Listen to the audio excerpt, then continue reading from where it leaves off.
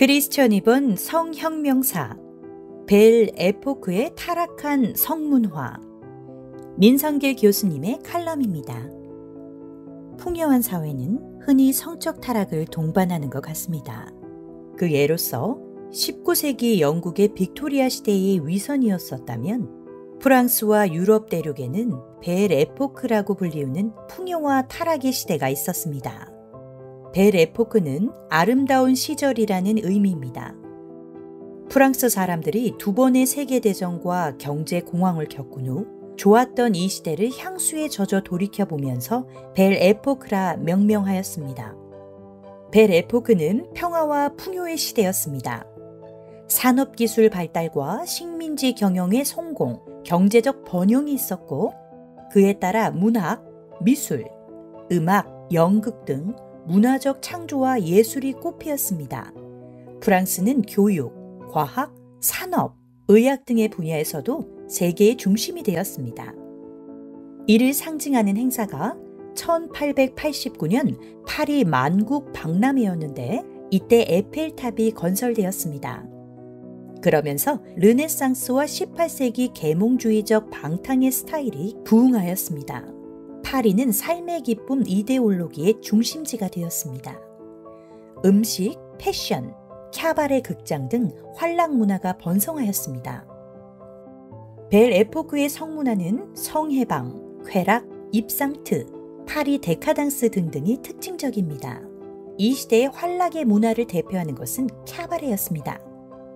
거기서 음란한 코미디, 화려한 이성 복장을 한 드랙들의 쇼, 누드쇼 등도 공연되었습니다. 지금도 캉캉춤으로 유명한 물랑루즈 카바레가 당시에도 대표적인 캬바레 중의 하나입니다. 캬바레의 스타 댄서는 고급 매춘부로서 사교계의 유명한 인사가 되었습니다. 예를 들어 우리가 아는 고급 창녀로서 가공인물이지만 오페라 라트라비아타에 나오는 비올레타입니다. 프랑스인들은 이 고급의 활락 세계를 반쪽 세상이라 하였습니다. 이 세계는 엘리트 남자들과 그들에게 소유되어 쾌락을 제공하는 창녀들이 어울리는 세계였습니다. 남자들은 부인과 가족과 의무를 떠나 음주, 미식, 약물 사용, 도박, 극장과 발레, 경마, 그리고 문란한 성적 추구 등 삶의 모든 분야에서 최고의 유행에 빠져 살았습니다. 그들은 대개 빚지고 질병에 걸렸습니다.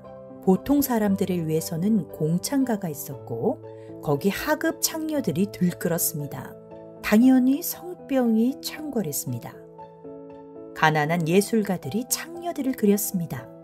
대표적으로 마네의 올랭피아, 피카소의 바에 있는 창녀들, 로트렉의 성병 검사 또는 스타킹을 올리는 여자, 드가의 댄서 등입니다.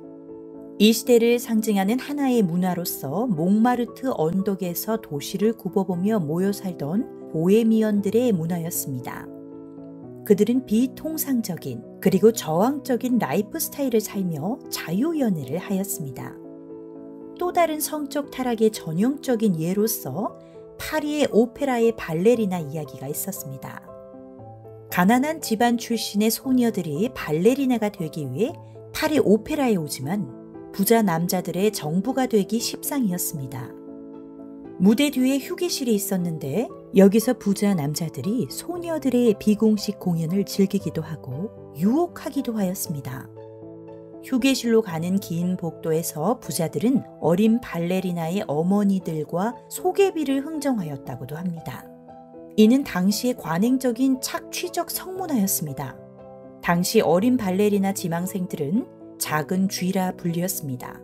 어린 발레리나를 위한 파트론 제도는 결국 매춘을 위한 것이었습니다. 이 관행은 20세기 초까지 계속되었습니다. 실제 다수의 가난한 하층민들이 도시 슬럼가와 농촌에 살고 있었는데 그들은 그런 벨 에포크의 경이와 즐거움을 누릴 수 없었습니다.